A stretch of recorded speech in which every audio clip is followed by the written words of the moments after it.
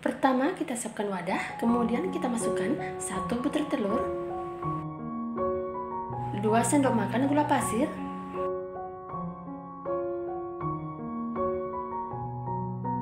kemudian kita kocok sampai gulanya larut,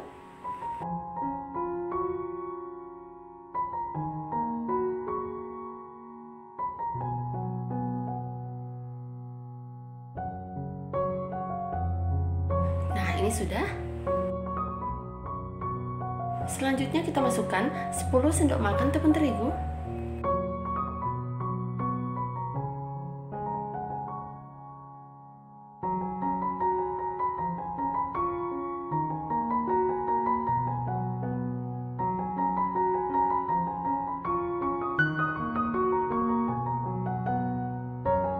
Kemudian ini kita aduk sampai tercampur rata.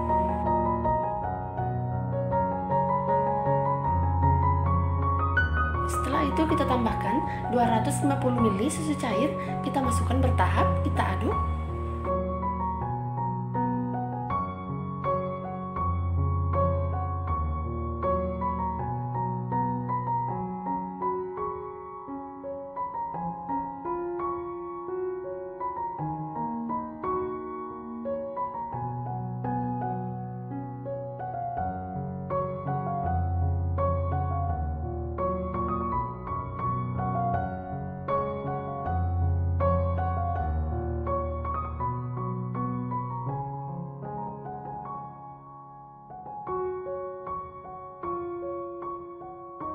Nah, ini kita aduk ya sampai adonannya halus dan tidak ada lagi adonan yang bergerindil. Nah, ini sudah cukup. Selanjutnya kita masukkan 1 sendok teh vanili, 1 sendok makan margarin cair. Kita aduk kembali sampai tercampur rata.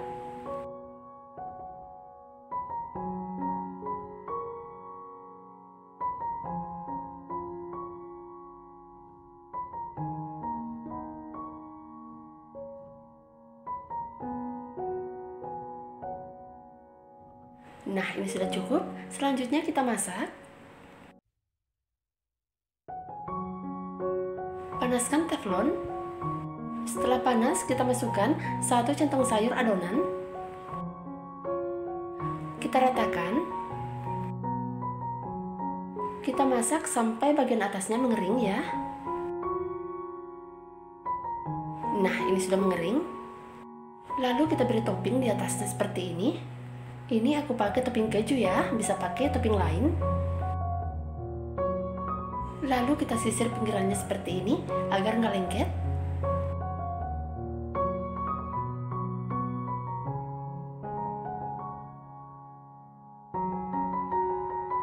Lalu aku lipat seperti ini.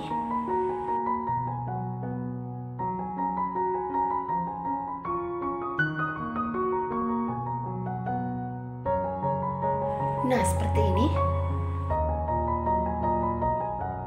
Lakukan seterusnya seperti itu sampai adonan habis.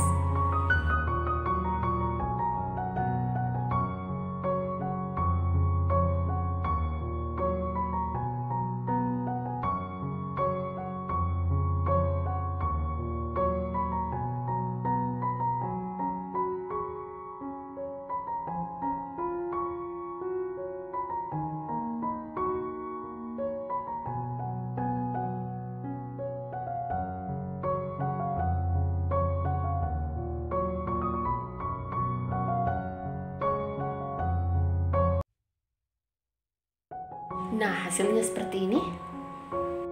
Ini tuh rasanya enak, manisnya juga pas, bisa dicoba. Nah, dalamnya seperti ini. Semoga bermanfaat ya. Terima kasih.